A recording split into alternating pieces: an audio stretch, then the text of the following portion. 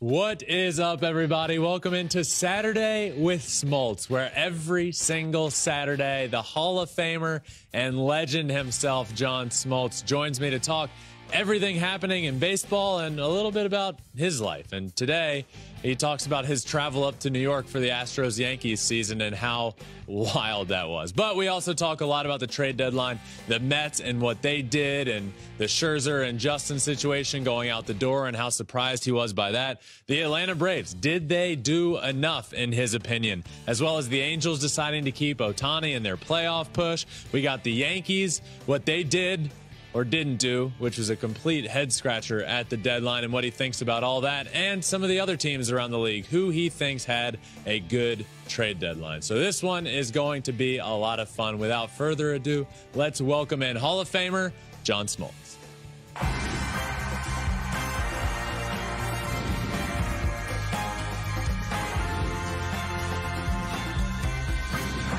Fly ball onto the track, at the wall, it's gone!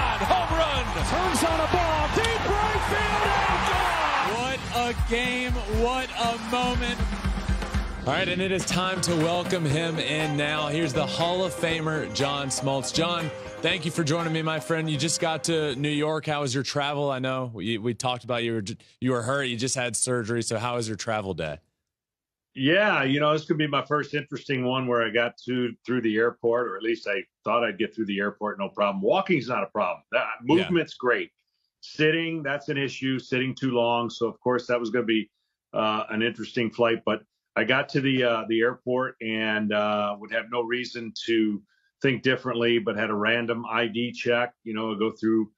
Um, I have clear. I yeah. usually go right through and of course, I went into my wallet and then uh, there's no ID there.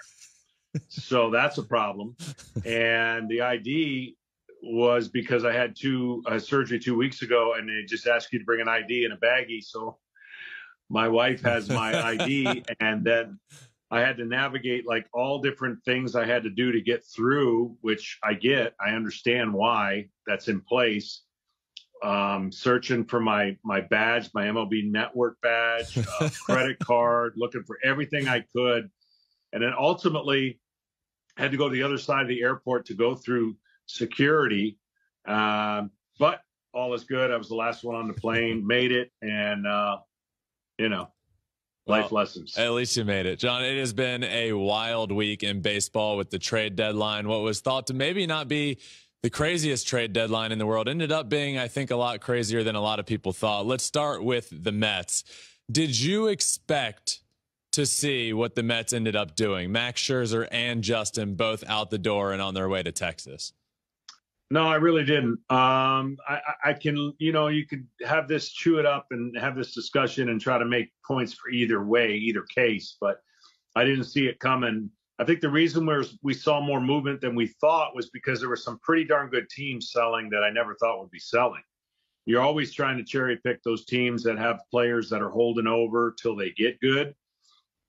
Never did I see an opportunity where the Mets and the Cardinals and and just teams that you just historically think are going to be in the mix and the amount that was invested for the New York Mets still to me trying to digest the fact that okay, maybe it's just that one bad, funky year.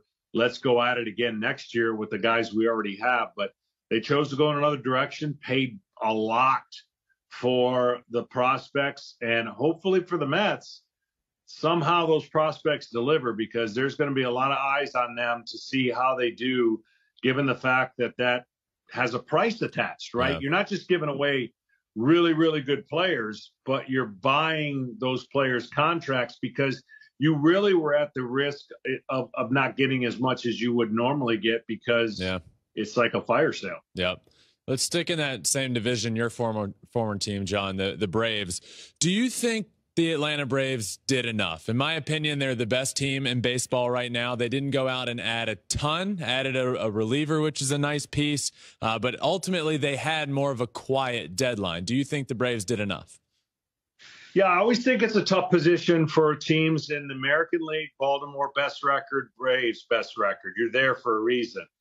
Every team has a tweak they could have and always could enjoy a boost.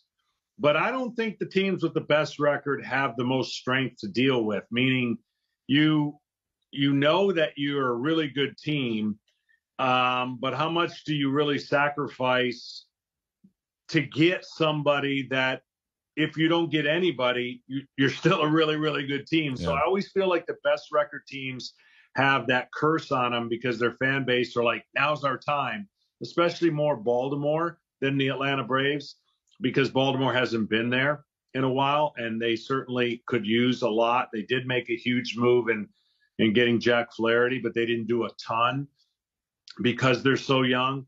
But the Atlanta Braves, look, I mean, the bullpen piece is nice. Um, if they get their two starters back, though, that's going to be like adding. I mean, yep. Max Fried's been out a long time, and Kyle Wright's been out a long time. And hopefully they're back in the road to recovery because if they can get in and get five starts and feel like, okay, that's what they need moving into the postseason, wow, what a rotation that is. You know, anchored by Spencer Strider. But the unknown is, you know, you always want depth, and maybe teams, you know, hopefully they don't get hurt. Nobody yeah. gets hurt, but that will change the dynamics, of course, for sure. We've spoken a lot over the last few weeks about the the Angels and what they're going to do, what they should do with Shohei. But you know, John, what we have to say doesn't matter because in the end, it all comes down to Artie Moreno and the GM out there. And they decided to keep Shohei and they went for it. And I I respect the fact that they made the decision and they went all in and they went for it. Whether it was the right one or not, time will tell. But what do you think about the Angels' decision to keep him and go for it?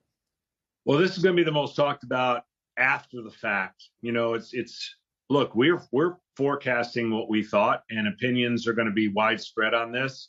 Uh, we don't have the checkbook or the uh, decisions to make that this call, but but I think if I look at it one way, we're going all in to prove to Shohei that we can win, and maybe that helps attract him to stay here.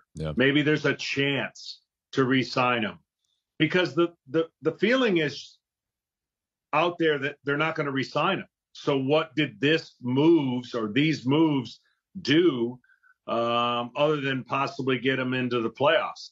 So I have to think that it's pretty. It would be pretty impressive to say if I'm trying to show Shohei Ohtani that we care and that we can put a winning product on the on the field because it, I really think he only cares about playing in the postseason. I really do. I, I think he wants to win. He's made that very known.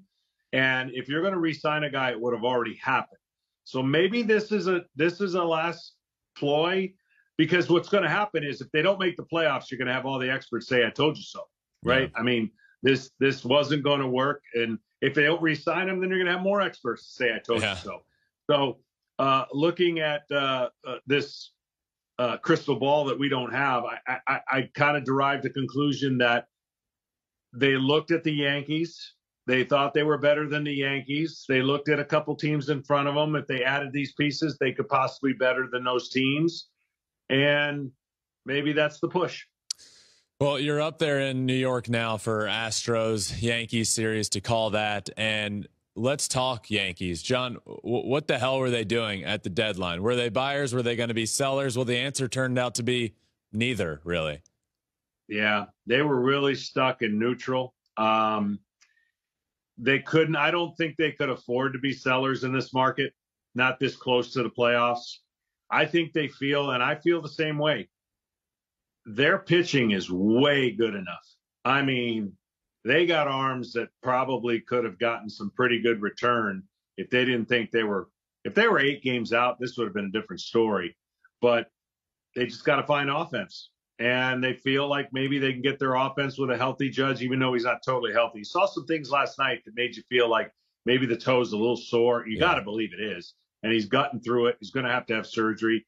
But if you get a Stanton three run homer every once in a while you get LeMahieu hitting again um, you get individual performances a little bit better than if they're just average, they've got a great chance to be a thorn in everyone's side in the postseason. Just average, like three run average, you know, just score three. Yeah. Uh, but we haven't seen that consistency. It's why they've not really reeled off any kind of lengthy streak. They're in the midst of a really tough schedule. And last night's win, I mean, some wins that you get, um, you wouldn't think the Yankees are a team that go, oh, that win a couple days ago uh, that was huge. We're the Yankees. You're supposed to win yeah. those games, but they've got some huge games coming up that are going to be important for them in determining their success or not. I, I would say that that I agree with you. I think their pitching is more than capable of winning in the playoffs. And if they're along that line of thinking that we both are, then why not go add a bat? I, I don't understand why they didn't become buyers and do something then.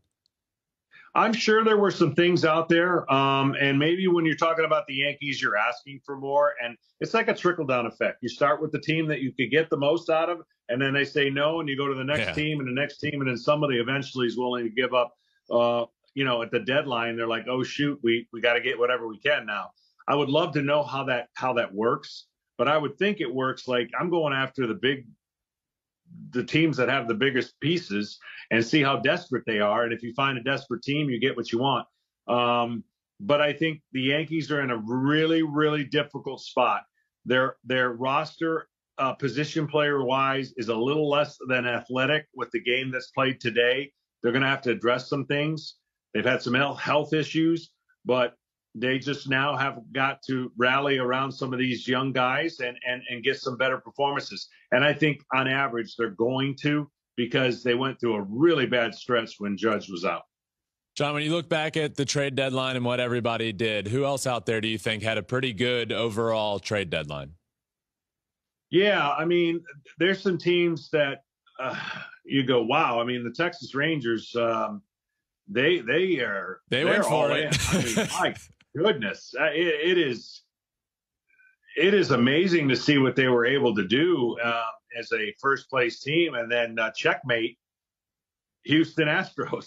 it's like they went and got your brother, and and that to me is is is all the adrenaline that team needed. You know, it's a it's a familiar face. It's it's obviously he's pitching great, and then right after the news, you get a no hitter by Valdez. So I think the uh, the the Central kind of stole the show as far as uh, Texas went out and did what they had to do, and then Houston countered, and uh, the so it's just ironic that both yeah. those players came from the same team.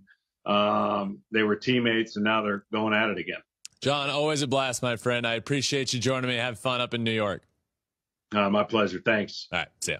All right, just wanted to again thank John Smoltz for joining me. Always a very fun conversation, but I couldn't stop thinking today about how he had to go to the airport, travel to New York for the Astros Yankees series for a few days at minimum, and didn't think to bring his ID for any of that. So he ended up in the pickle that he ended up in. But ended up talking a lot about trade stuff, which was a lot of fun in the Mets situation. And uh, it was interesting to hear him talk about the, the Rangers Astros situation, how the Rangers just kept adding and adding and adding. And the cherry on top ended up being adding Max Scherzer. And then the Astros go checkmate by adding Justin to their rotation and being in a great position to to win that division. But always fun, always appreciative of John taking some time out of his day, and even on a day that he was traveling to New York and logistically trying to get to your hotel and all of that stuff. Him being able to join me still is, is really cool. So I hope you all appreciate it because I know I do as well. But make sure you're subscribed anywhere you listen to your podcast, Apple, Spotify, wherever. We're also on all social media,